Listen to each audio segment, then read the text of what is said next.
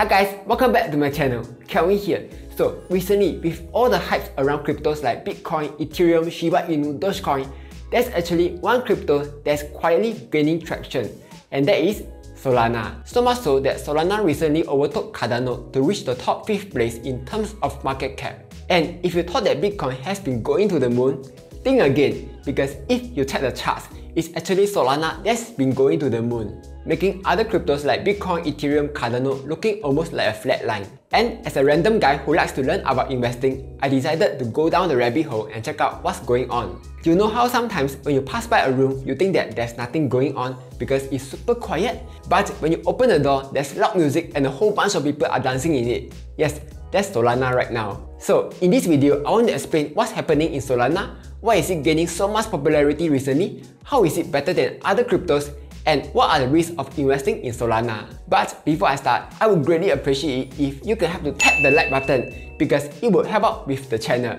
In return, I will show you some cute rabbits. Alright, let's start right now. Just a quick disclaimer, the only reason I'm making this video is for educational purposes only yeah.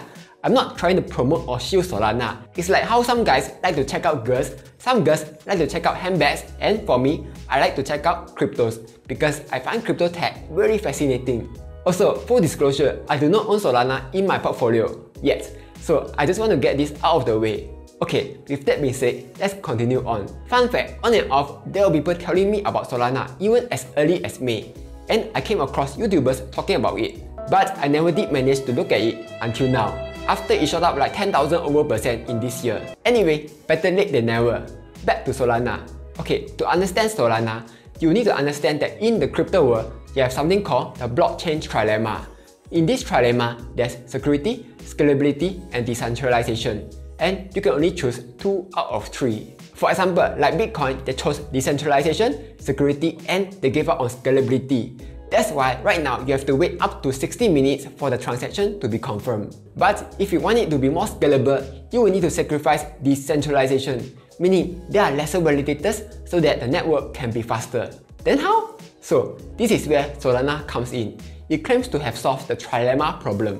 Solana actually has 8 innovations that make all of this possible. But I won't talk about all of them, otherwise this video will be longer than Avengers Endgame. I will focus on proof of history. So, you have heard of proof of work, used by Bitcoin where you solve complex math problems to validate transactions. Then, you have proof of stake, used by Cardano where you pledge your cryptos to have the right to validate transactions. But then, what is proof of history?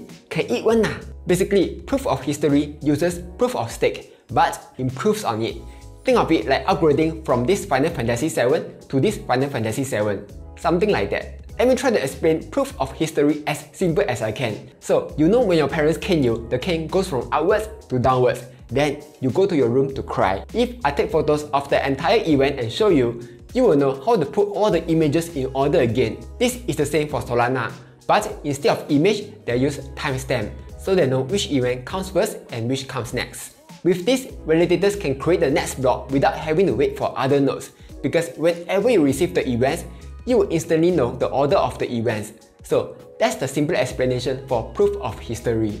If you don't understand what I just said, never mind. Ah. All you need to know is that proof of history makes Solana super duper fast.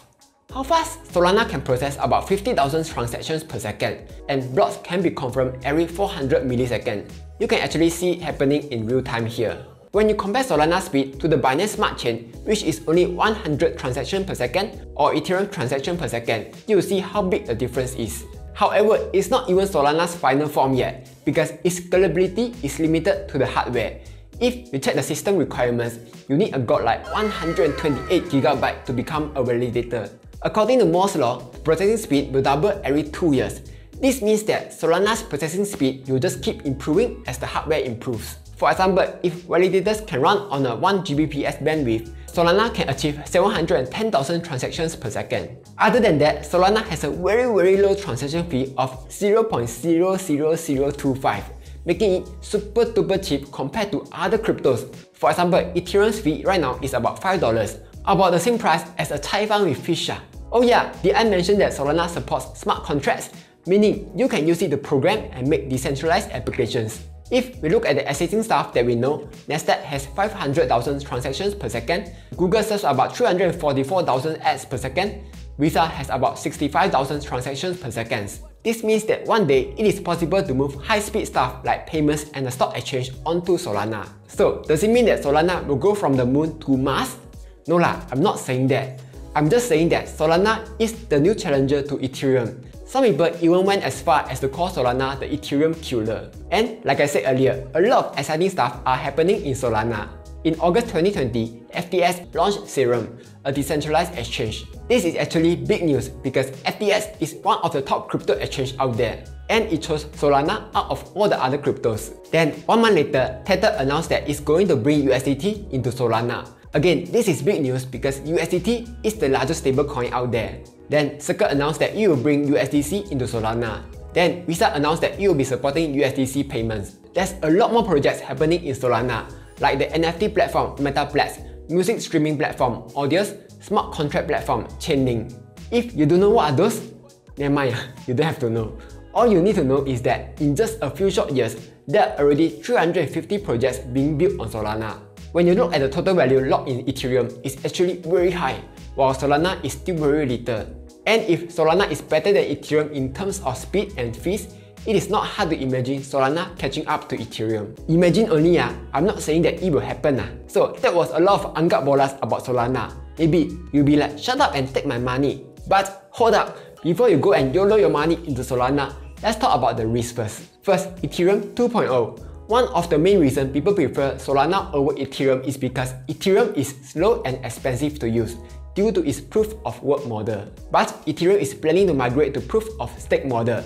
If they manage to pull it off, it will reduce the energy used up to 99.95%. But more importantly, Ethereum will be faster and the fees will be cheaper. If it really happens, probably Ethereum will be able to remain as a top platform to develop DeFi projects. So far, Ethereum 2.0 is planned to be released on June 2022.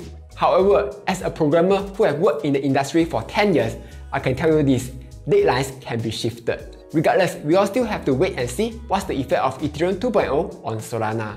Second, Solana getting hacked. So, on September 14, the Solana network had an outage for 17 hours. And the reason for this is denial of service attack. If you don't know what's that, let me show you. Not too long ago, when Singapore reopened their borders, Singaporeans be like, let's go and buy plane tickets ah! Everyone rushed to Singapore Airlines website to try and buy plane tickets. As a result, the website crashed. Ah, that's denial of service attack you guys just DOS attack your own SIA website. Ah. Basically, DOS attack just means that you send so much traffic to a website or network until it cannot handle the load and it crashes. The reason Solana had an outage was because of its own strength.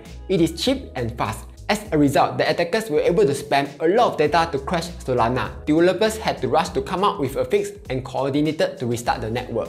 Luckily, nothing was stolen.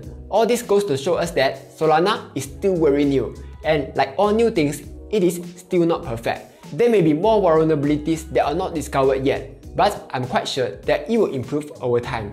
Third, centralization. Right now, people feel that Solana is not that decentralized yet. According to Messari, about 48% of Solana are owned by Solana team and investors, and one third has been allocated to ecosystem development, leaving only a small part of Solana to be sold to the public. But there's something called Nakamoto coefficient, where it tries to measure how decentralized a network is. For example, Bitcoin scored around 3, Ethereum scored 5, while Solana scored around 19.